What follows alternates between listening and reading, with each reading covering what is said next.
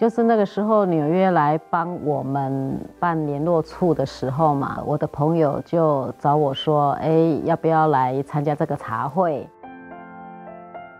节目还没开始，就是后面有人在分便当，就是让我们先吃。那我就站起来，我说：“哎，我可不可以帮忙？”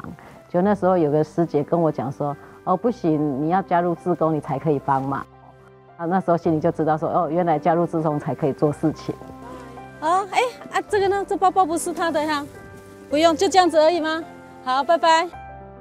当然会抱着一个感恩的心呐，所以。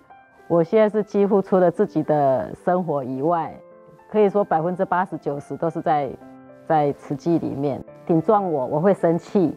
那我们会生气，一定是觉得是别人的错嘛，所以我就会上用上人那一句：哎，生气是拿别人的错惩罚自己。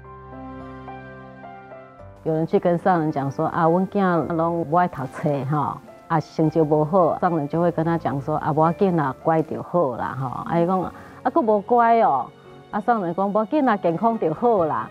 常常会有父母因为孩子健康，不管生理、心理方面，哈，给父母都带来很大的那种苦恼。所以我后来觉得说，哎，我有一对很健康的儿女，我就很高兴。因为我们有一次在读书课的时候，呃，慈金师姐就跟我们讲说，如果我们觉得我们这辈子很幸福，我们应该很感恩一个人。那我们那时候都在猜到底是哪一个人。他就跟我们讲说，感恩我们前辈子的那一个人。